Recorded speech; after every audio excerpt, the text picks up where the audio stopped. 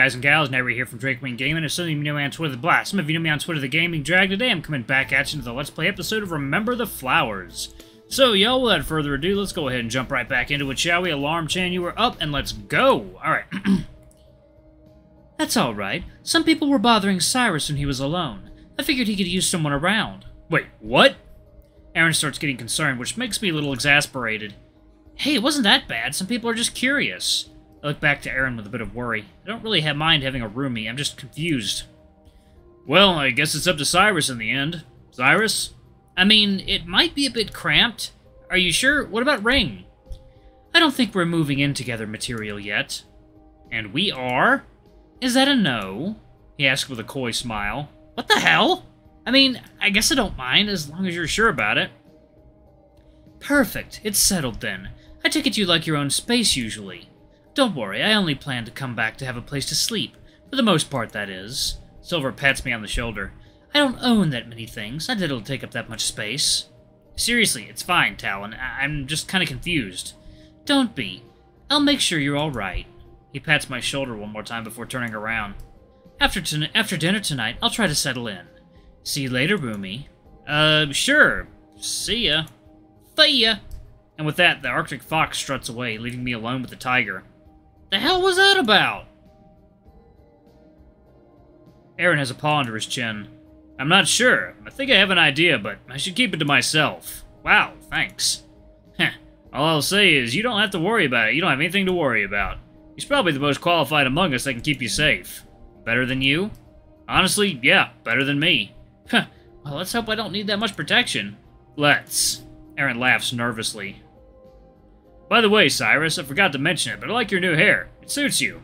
My cheeks feel just a little just a little bit warmer after hearing that. Oh, thanks, Aaron. Of course. Take care on your way back, alright? Will do. I'll see you later tonight then. It's a date.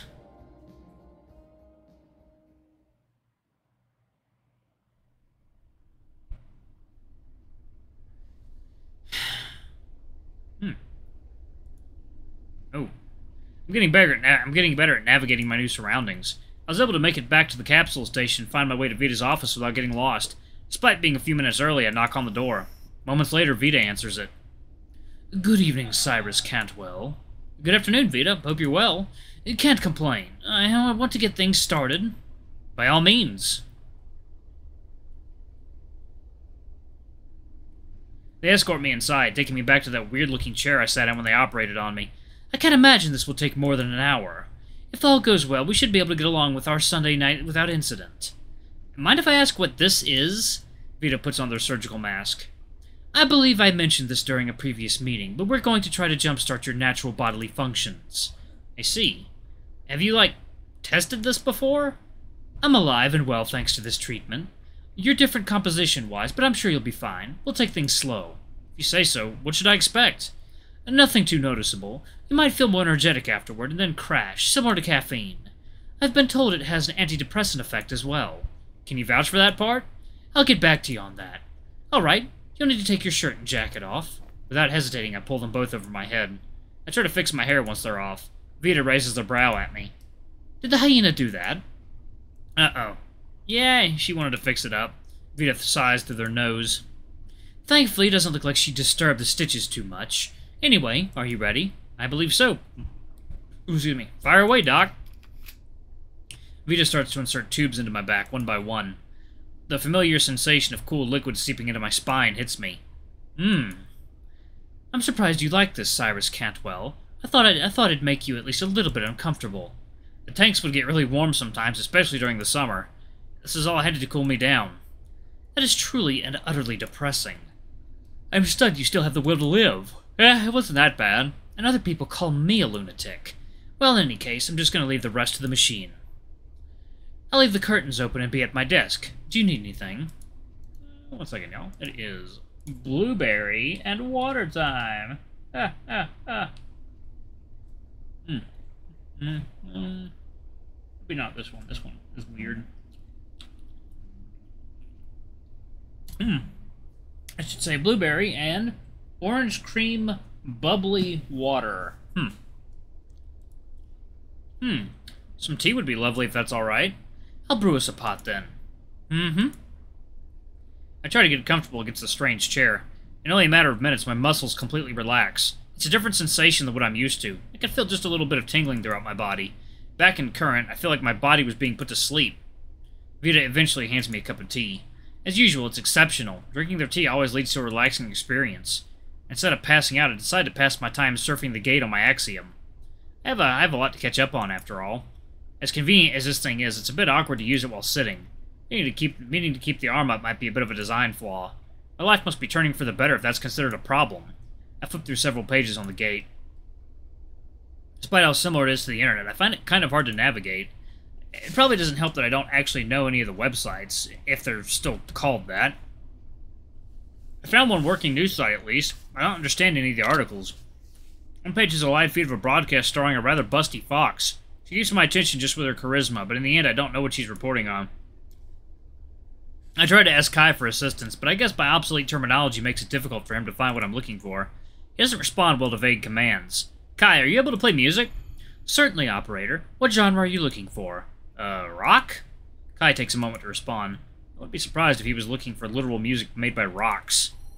Playing Blinded by Fortune, featuring Dahlia Flanders. Nope, nope, nope, nope, no, no, no, no, no, no, no, no, no, no. There. Yeah, probably copyright. It isn't someone I've heard of. Looks like the mental link like looks like the mental link makes it so I don't need to wear headphones. This will take some getting used to, but it's convenient. The music Kai found is honestly not as strange as I thought it would be. He cycles through various artists over the next hour. I rest against the chair, silently judging each one that plays in my head. Before I know it, Vita nudges my shoulder. They try talking to me, but I can't hear them. Oh, right. Internally, I, I internally ask Kai to shut down for the time being. The music fades out. Okay. Sorry, what was that? I said you were all done for the day. Was it so relaxing that you fell asleep? Almost. I was actually listening to music through my Axiom. Vita raises a brow. I'll never get used to these contraptions. Anyway, if you could lean forward, I'll remove the tubes. I do as I'm told and lean forward. Vita takes them out one by one. Your ports are extremely inefficient. If it's alright with you, I'd like to make some modifications at a later time. As long as you're careful. I'm always careful. I feel my newly shaved head. I'll take your word for it. Is that it, then? Yes. We'll do this at least twice a week for the foreseeable future. Once you start showing signs of improvement, we'll leave it up to Titania to decide. Speaking of, am I ever going to meet this Titania? That is up for her to decide, Cyrus Cantwell. Who knows? Maybe. I can't wonder about it for too long because Kai starts beeping. New message from Silver. I take my axiom out and read the message. Sorry to cut this short, but I made a promise to be somewhere for dinner. By all means, go right ahead. Would you like to join us? We'll be in the break be in the break room. Vita's eyes go wide for a moment. Hmm, I have some work to do. However, once I finish, I could join for a little while. Thank you for the invitation. Of course, let me know if you need anything. Indeed. I'll see you soon, Cyrus Cantwell. With a bow, I make my way out of Vita's office. Heh. One second, y'all. It is water time and blueberry time. Mmm, mmm, mmm. Mmm, oh god, good. Bubbly water and blueberries are a good mix. It's quiet in the halls tonight. No one bothers me on my way to the break room. Even though Silver messaged me about dinner, he's not here yet. The place is empty. I guess it's not six, six quite yet. Unless... I start to look around the room. I get the feeling Silver is in here, somehow. There must be some kind of trick to him constantly popping in and out of existence. To his credit, there aren't a lot of places to hide in here. I try looking under the table. Maybe he's under one of these chairs.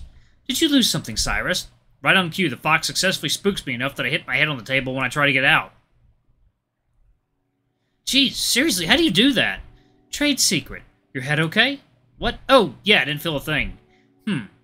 Anyway, Aaron will be here soon. Kanto and Karen asked to come along. The more the merrier. I invited Vita, too. Hope that's alright. Fine by me. I wanted to ask them how to improve the recipe for tonight anyway. What's on the menu? Secret. You'll see soon enough. My pouting is short-lived as Aaron comes to greet us. Evening, fellas. Hope you're doing well. Could be better. Could be eating right about now. Sorry about that. I wanted to change into something a little more comfortable. Work finish up alright? After the party, I stayed for about an hour to make sure everything was good for tomorrow. Shouldn't be anything to worry about. Excuse me. After all the work we did, there better not be. Kanto calls out as he walks in with Karen. If there wasn't a free meal tonight, I'd be inclined to say it wasn't worth it. Kanto comes up behind Silver and hugs him. Oh. You're always worth the wait, though. Ha! Love you too, babe. They don't waste any time, do they? What are we having? I'm starved. Pace yourself. I don't know what Silver bought. I don't know what Silver brought, but I tried. I tried my hand at making my own carbonara recipe for Cyrus. Score. Carbonara? What's that? Uh, usually pasta with eggs and meat. My mom usually made it for bacon. So, like a breakfast pasta? Huh, I guess so. Never thought about it like that. Sounds yummy. Bring on the carbs. Couldn't say it better myself. What did you bring, Silver?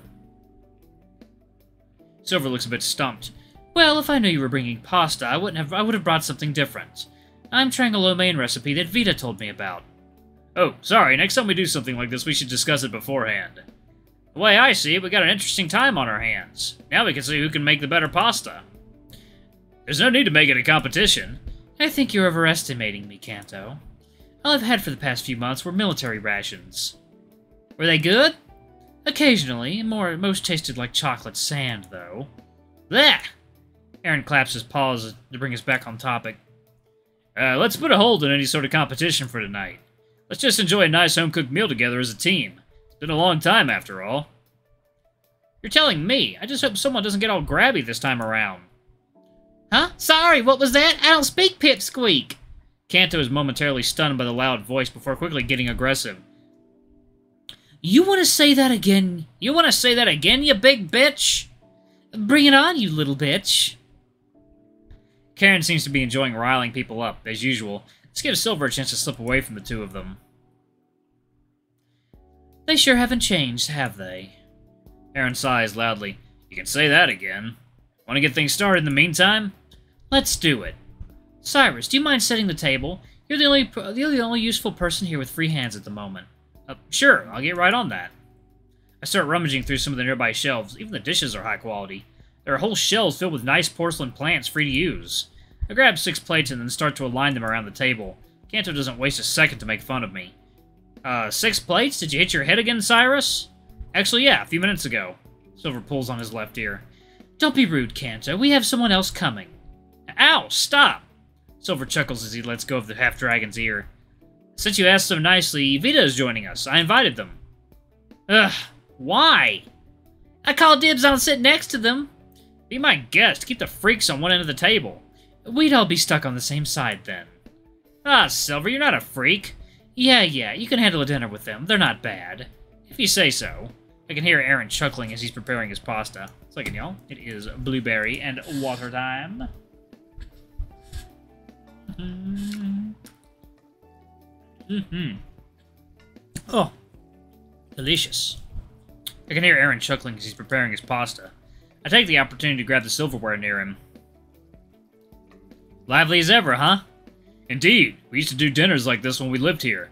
We kind of stopped after we moved out. We should do it again. It's nice having everyone together, you know, by their own volition. If you ever do, I'd love to come. This certainly beats sitting and eating by myself, that's for sure. Silver pops up behind me to grab a knife. Don't worry, Cyrus. While you're with us, I doubt you'll have too many dull moments. He begins to chop away at some vegetables. His knife work is quite impressive. He's going really fast. I don't mind things being dull from time to time. I will admit, this underground base is nice and all. However, it's a tad suffocating, right? Uh, something along those lines, yeah. Now that Silver's around, you can go to the surface when you want to get some fresh air. I gotta find the perfect time, though. Too early and it's freezing, and too late makes it sweltering. Do you like to run, Cyrus? I look back at him for a moment. I used to do it all the time, mainly because someone close to me liked having a runner, a running partner. It's a lot more enjoyable with someone else, that's for sure. Want to try sometime soon? Sure, that sounds nice, just uh, it'll be more of a walk for me. That's fine, it'll be good exercise for you. I nod quickly. I got so wrapped up in talking I forgot to finish getting the silverware ready. Here, the good knives are in this drawer, although I doubt we'll really need any. We can use them to cut up the pasta, it'll make it easier to eat. Oh, true, good call. How about... Silver and I get close together to examine the various knives. Aaron starts to chuckle next to us. Glad to see you two are getting along so well. Why wouldn't we? Cyrus seems nice. It's not that you wouldn't get along, but rather, how should I put it? Aaron takes a moment to think on it. I guess I'm just happy that you're both already pretty comfortable with each other. You've all been really considerate of me since I got here. Well, mostly. I glanced toward Kanto, although he's not that bad either. The past few days I've been thinking a lot about how unnatural I really am. But, I don't know, being around you all has been very pleasant. Probably helps that we're all misfits too. You can say that again. I don't think I can name a single normal person who works here. Eh, probably for the best. Any normal person would have gone crazy at this point. Glad you're not normal, then. Have some real innate... You have some real innate tenacity. Yeah, even I'm not sure how I've lasted this long. As long as you stick to your recovery regime, regimen, you'll hopefully live a decent life. Oh, nice. That familiar mechanical voice comes from behind us. Ooh, excuse me. Hey there, Vita. Long time no see. We should try doing a more robotic voice for Vita. Same to you. I hope you've been well. I am now that I'm home. Good. Sorry it took so long. I was in the middle of wrapping up a project. Don't worry. Uh, don't worry. We haven't even started. In fact, I think I'm just about done. How about you, Silver?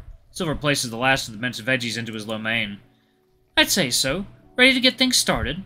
Absolutely. Karen raises her voice across the table. Alright guys and gals, I'm going to go ahead and pause it right there. Thank you all so much for watching. Don't forget to like, comment, subscribe, ring that notification bell. Leave a super thanks. Or tip if you can, it always helps. Until the next video, I love you all. I'll see you next time. Bye-bye.